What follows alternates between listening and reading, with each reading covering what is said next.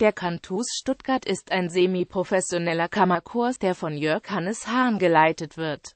Die Konzerte finden meistens im Rahmen der Konzertreihe Musik am 13. in der Stadtkirche und der Lutherkirche Stuttgart-Bad Cannstatt statt.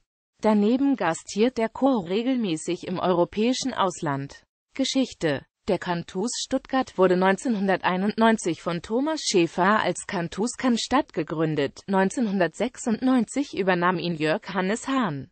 2002 sang der Kammerchor in zwölf Konzerten jeweils sämtliche Bach-Motetten. 2003 trat das Ensemble in Japan und Korea auf. Im Juli 2004 gastierte der Cantus Stuttgart beim Festival Europäische Kirchenmusik Schwäbisch Gmünd mit einer Uraufführung von Adriana Hölzki. Anschließend folgten unter anderem Auftritte beim Oberstdorfer Musiksommer. Im Herbst 2005 produzierte das Ensemble die Messe OP 4 für Chor und Orgel von Camille Saint-Saëns auf CD. 2006 folgte ein weiterer Auftritt beim Oberstdorfer Musiksommer mit Johann Sebastian Bachs H-Moll-Messe.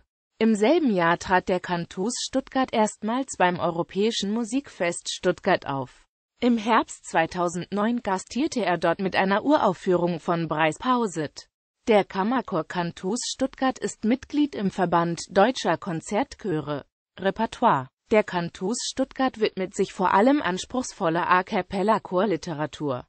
Die künstlerische Spannbreite reicht von Werken des 16. Jahrhunderts bis hin zu Chormusik des 21. Jahrhunderts mit zahlreichen Ur- und Erstaufführungen. Unter anderem Hans Renner, Dieter Schnebel, Klaus Huber, Hans Sender, Wolfgang Riem, Milko Kelemen